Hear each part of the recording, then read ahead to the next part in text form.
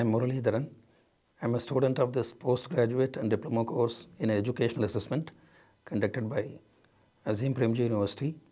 It's been a wonderful course. We are undergoing the first module now. It is all comprehensive. It gives a very good perspective about the entire education and the examination system and also the assessment. What are the types of assessments? Historical perspective about how the entire thing developed. Earlier, though I was associated with education and examination activity for well over 15 years, this course has given me a good grounding in the theoretical aspect of the whole thing and also how it is handled at the ground level, at the classroom level particularly, interacting with the children. So, it was a very wonderful thing. The methodology adopted by the course is also very good.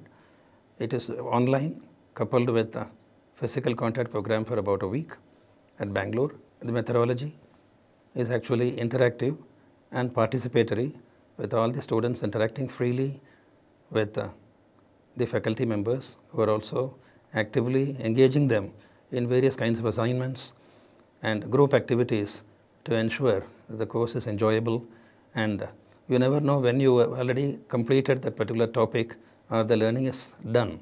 And each assignment which is given is actually a research oriented paper and very interesting.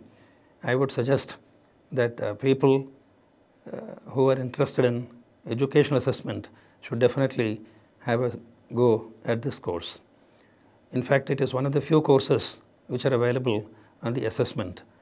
Much of the courses whatever are in the market are already dealing with only the education aspect which we have had enough all across the country.